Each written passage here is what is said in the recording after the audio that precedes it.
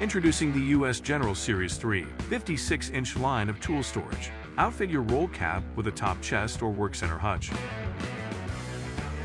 Includes full-width drawer latches and ball-bearing drawer slides to support up to 120 pounds per pair. Features a power tool drawer and an in-drawer charging system to charge your batteries and tools. All Series 3 products have black trim, hardware, and logos. Check out all US General Series 3 products exclusively at Harbor Freight.